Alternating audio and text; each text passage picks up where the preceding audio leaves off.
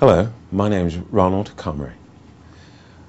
Today I'm going to share a story with you. I'm a diabetic. Um, diagnosed several years ago, back in uh, 1996. First told me about uh, diabetes. And the, the way I found out I had uh, sugar was I would drink a can of Coke and I was falling asleep at the wheel of my car. Didn't know the reason why. It wasn't until some years later uh, I thought this was just my problem over tiredness, but it wasn't. It was due to the sugar content in my blood.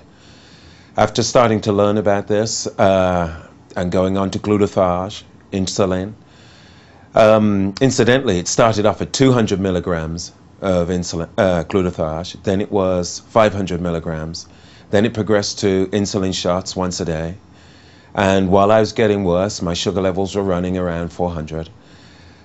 Uh, not controllable. I was also overweight. The doctor then increased it to two shots, and I was progressively getting worse. My eyesight, uh, my heart, my kidneys um, were failing, not realizing how bad it was, um, and neglecting it a little.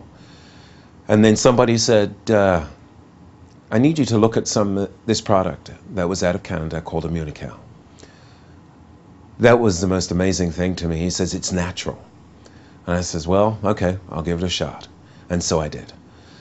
Within the matter of weeks, my sugar levels started to modulate, my blood started to modulate. It was a great compliment to what I was doing with my diet. I started changing. Before I know it, my sugar levels were now being able to be controlled. They were never able to do that before. Getting up in the morning and finding my sugar levels were between 96 and 114.